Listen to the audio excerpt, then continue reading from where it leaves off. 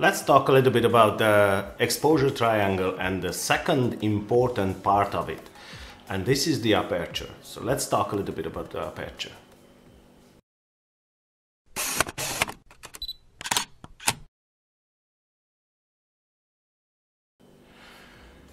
Hello everybody, my name is Attila Mati from Blue Sky Photography and today I'd like to talk to you about the second important part of the exposure triangle and that is the aperture. Uh, now last week we uh, we talked about the shutter speed and how important it is to uh, to how to set the shutter speed in different situations you know and uh, uh, to obtain some uh, different results. So now this week we talk about the aperture sorry, in this video, not this week, in this video. And um, the aperture is actually the second most important part of the exposure triangle. Uh, and it is very, very important to, uh, to know how to set and with which settings, what effects your pictures will get. So um, just the other day I uploaded a video about the depth of field and intentionally, these two videos uh, should go one with the other because uh, the depth of field is very much manipulated by the aperture. So the actually two things you can uh, you can manipulate the depth of field is the aperture and the distance from your subject. So uh, that's why I uploaded the depth of field video close to this video with the aperture because they, they should go hand in hand, let's say. So um, the aperture. Now, I'm sure that uh, most of you uh, will know what is the actual aperture is, so I don't have to explain to you what it is.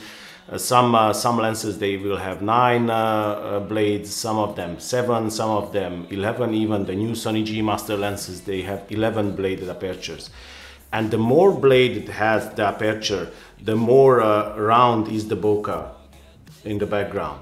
So um, and actually it's not only how much how many sorry it's not only how many blade uh, it has but it also how round it is but uh, the blades how round they are but um, uh, even if they are rounded aperture blades if there are more the bokeh will be much uh, much more circular form you know?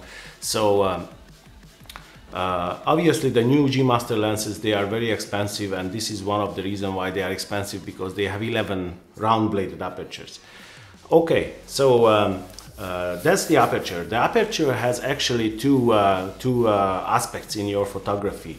One is uh, like part of the exposure triangle and it will, uh, it will block or let in the light to your sensor.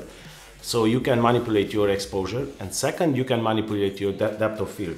Now uh, we are not talking about today what what is the depth of field and what effect you will get you know if you you can have a look on that video if you uh, uh, if you didn't see that uh, you can search in my channel you know and you will you will find that video easily so you can you can have a look at it.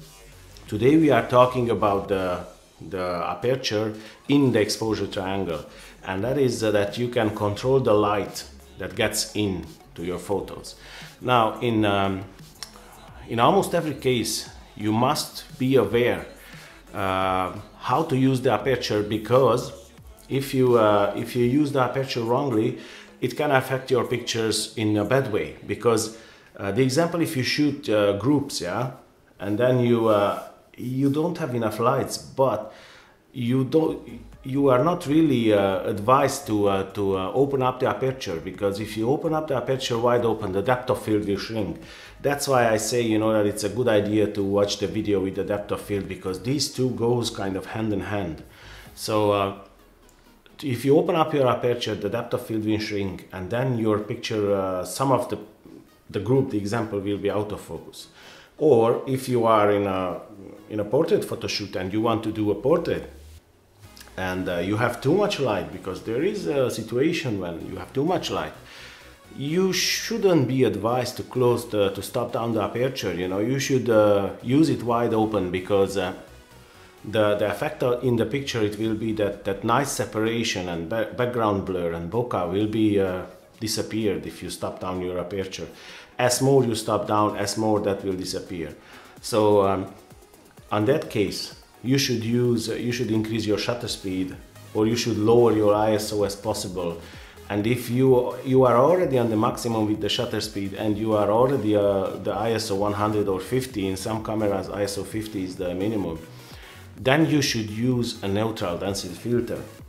But even that case, I wouldn't uh, stop down the aperture.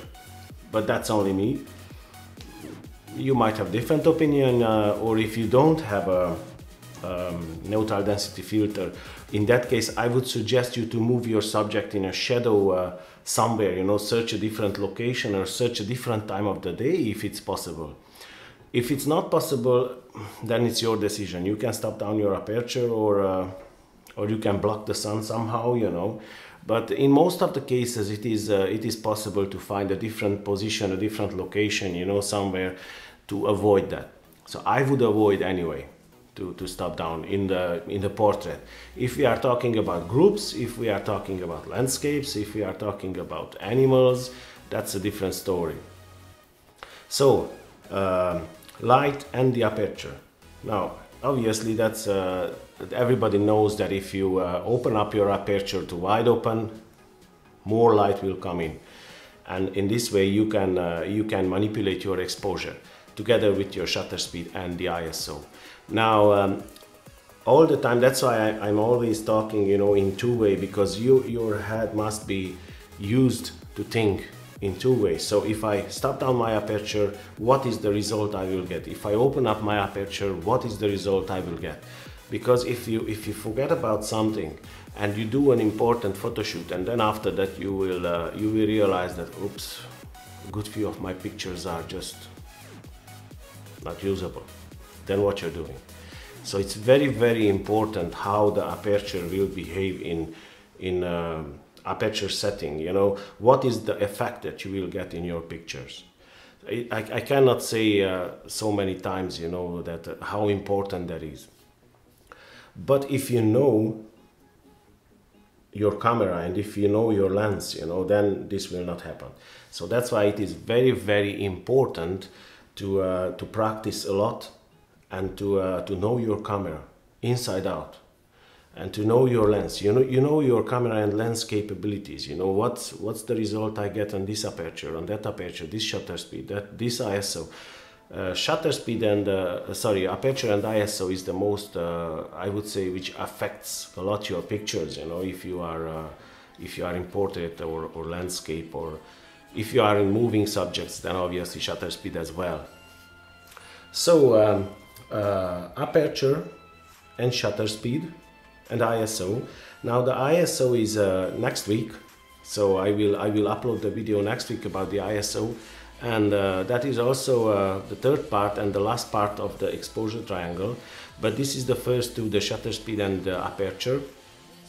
The aperture is obviously uh, is, is the same important, I would say, uh, like the like all of them. They they all three actually are the same important because they can affect in different ways, but they can they can make your photos beautiful or they can ruin your photo.